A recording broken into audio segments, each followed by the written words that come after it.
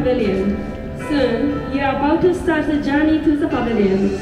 Please make sure that your smartphone and earphone are working properly.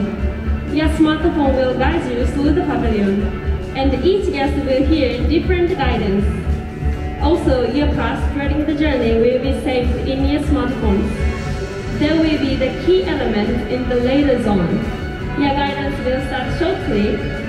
You will first receive a flower as a gift from us in your smartphones. Please remember the name of the flower. Now, please listen to your guide.